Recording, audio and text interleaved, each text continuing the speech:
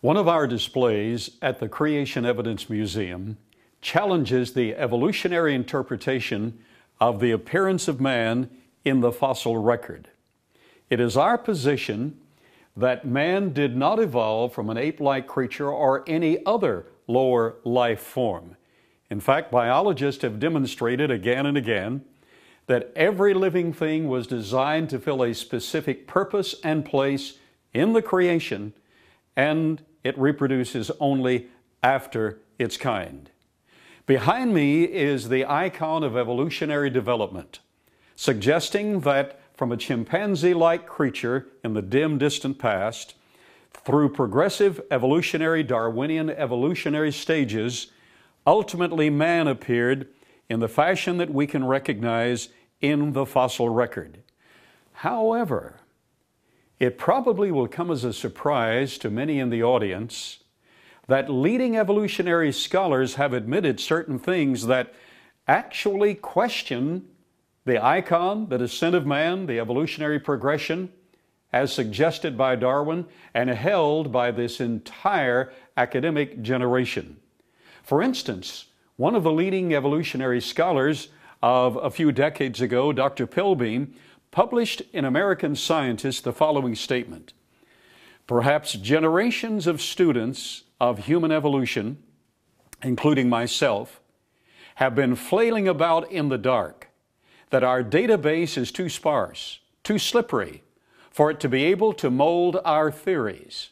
Rather, the theories are more statements about us and ideology than about the past Paleoanthropology reveals more about how humans view themselves than it does about how humans came about. That is shocking to those who are committed to evolutionary theory and to students who really want to know the facts. In fact, published in Nature magazine, the world's most prestigious scientific journal, Dr. Halstead, an evolutionist himself, stated there are no actual fossils directly antecedent to man. That's surprising.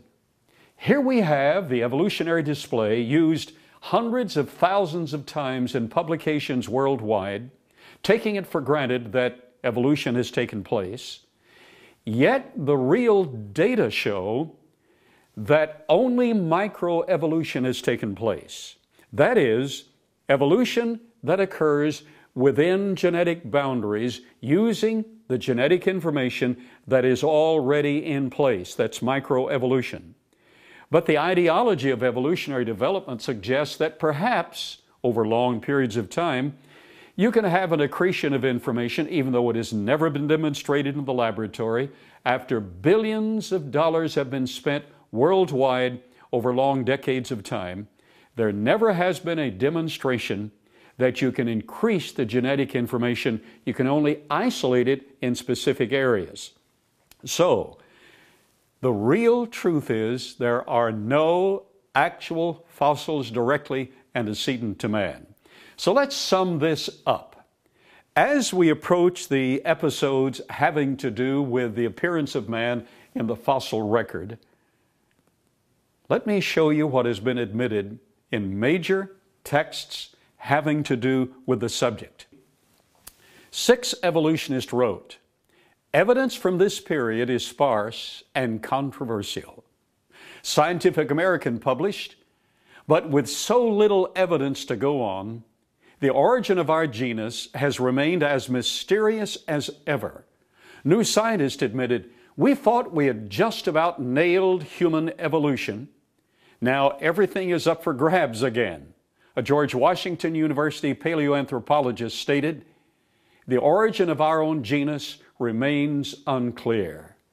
So at the Creation Evidence Museum, we have a major display showing where man really did appear in the fossil record, and it brings into serious question the evolutionary interpretation of man having evolved from lower life forms.